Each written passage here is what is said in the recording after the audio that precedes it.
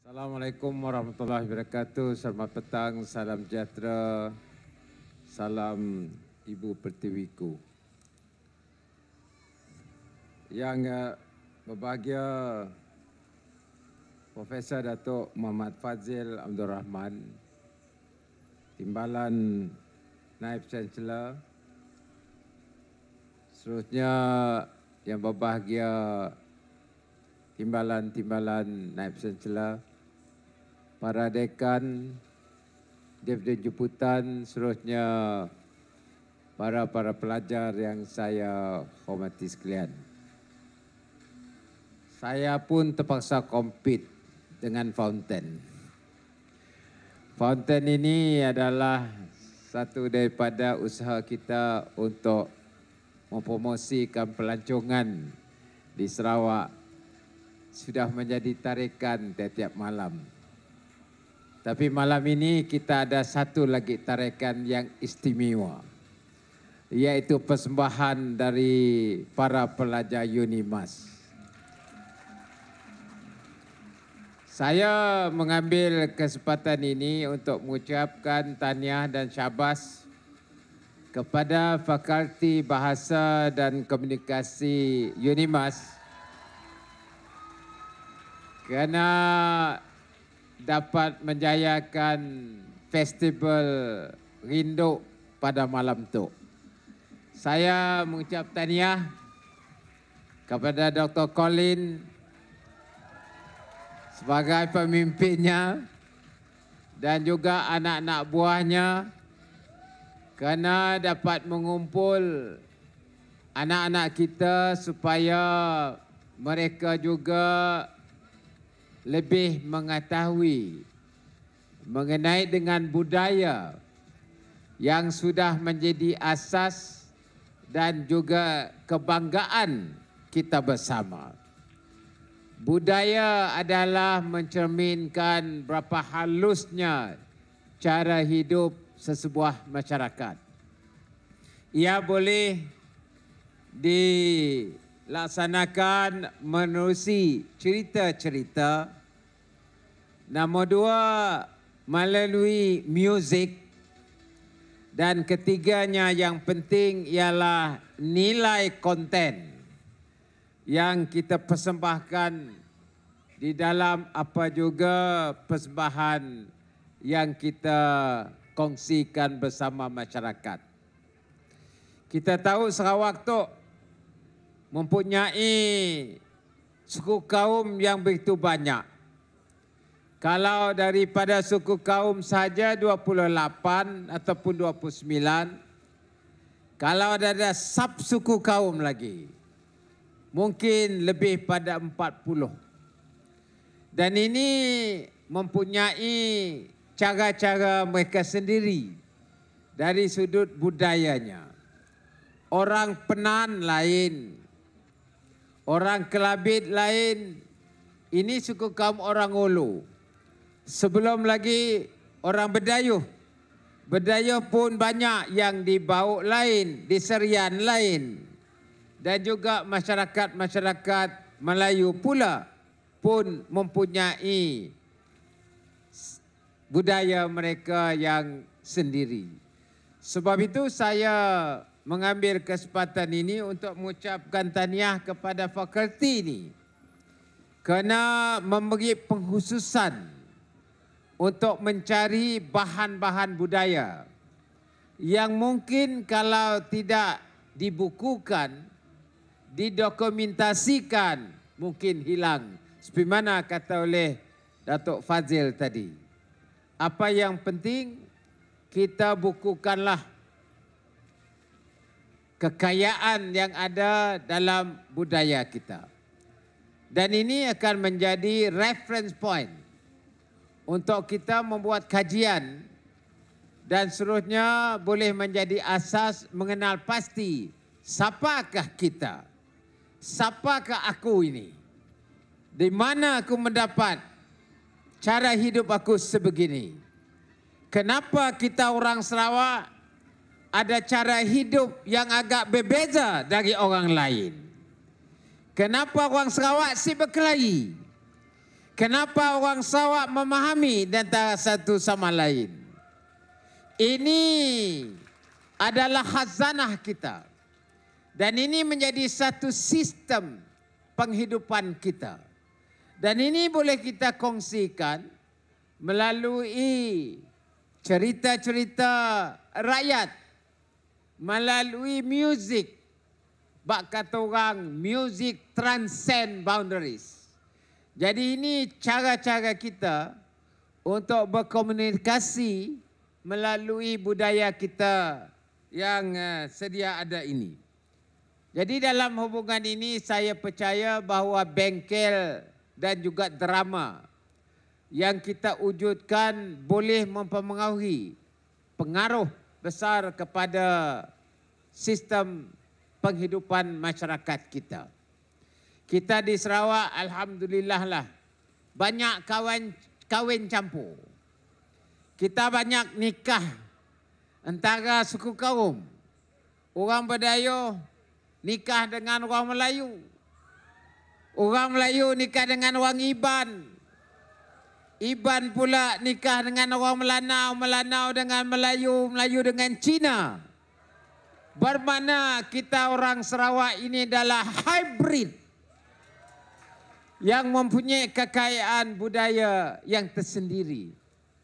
Sebab itu saya rasa bahawa apabila ada perkahwinan campur ini, you tend to understand the value system dan juga budaya orang lain. Saya maklumlah tahun baru mulai memberi satu peraturan khas untuk bayi yang lahir satu ribu. Tiap-tiap bayi Sarawak yang lahir satu ribu insentif diberi kepada kita. Dan orang bertanya dengan saya, kalau saya ibunya lain, saya orang lain macam mana? Saya kata, kahwin campur asal anak Sarawak, you entitled to that 1,000. Jadi bermakna ini adalah the endowment fund for the future anak itu. Dan saya rasa bahawa ini satu lagi budaya kita yang harus kita pupukkan. Saudara-saudara sekalian, sebelum saya mengakhiri ucapan saya, pandangan saya, memang benar ada saingan di antara sains dan juga sosial kemanusiaan. Humanity studies you are now competing with scientific study. Memang saya adalah bertanggungjawab untuk mentransformasikan kepada digital economy. Tetapi robot tidak ada mempunyai sentuhan manusia. Di sinilah bezanya di antara AI dengan kita manusia. Ini bezanya. Saya rasa saintis lagi mencari perkara-perkara begini. Walaupun autonomous application is there in science, tetapi dia tidak dapat berkompet dengan human touch, humanity studies. Tetapi saya ucap tahniah kepada Unimas kerana ia berjalan seiring di antara sains dengan humanities. Sebab itu kalau kita kaji emotional apa ni cara ni emotion dengan robot saya rasa kedua-dua ini belum lagi dapat bertemu. Walaupun saya dah tengok di Silicon Valley sudah ada robot macam manusia dan juga through AI boleh berfikir tetapi sentuhannya belum lagi ada. Sebab itu saya rasa bahawa dalam kajian kita kita hendaklah mempunyai kedua-duanya seimbang. Otherwise kalau tak kita wujudkan masyarakat yang macam robot, kalau robot susah juga. Kalau tak ada sentuhan yang ada daripada naluri manusia itu sendiri. Sebab itu humanity studies dengan sains yang berteraskan sains mesti berjalan bersama. Kerana temadun manusia dari awal lagi, that is the difference lah. Bezanya dengan sains. Dan sebab itu saya menyokonglah usaha yang telah dijalankan oleh fakulti fakulti uh, ini iaitu uh, fakulti sastra dan juga ni fakulti tuan-tuanlah komunikasi ini kerana saya rasa ini akan menjadi seimbang. Walaupun sibuk bagaimana saya pada dengan saya pegawai waterfront Unimas I will attend. Kerana saya nak membawa satu mesej bahawa mesti ada perseimbangan di antara kajian yang berteraskan kepada sains dengan juga kajian yang berteraskan kepada humanities. Jadi saya ucap tahniah kepada Fakulti Bahasa dan Komunikasi ini kerana dapat menjayakan uh, apa yang kita lihat malam ini.